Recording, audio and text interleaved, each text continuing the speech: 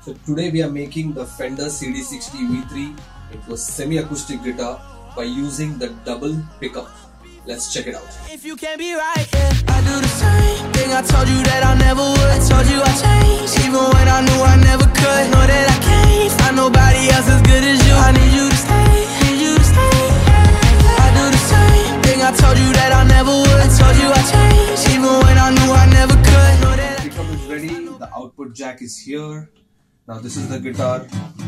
Uh, without pickup active you can just put the volume here. The pickup is active. Little adjustments can be done by this little screw provided inside and you can charge your pickup by this usb cable which goes right between here into the pickup. So this is the x0 pickup by double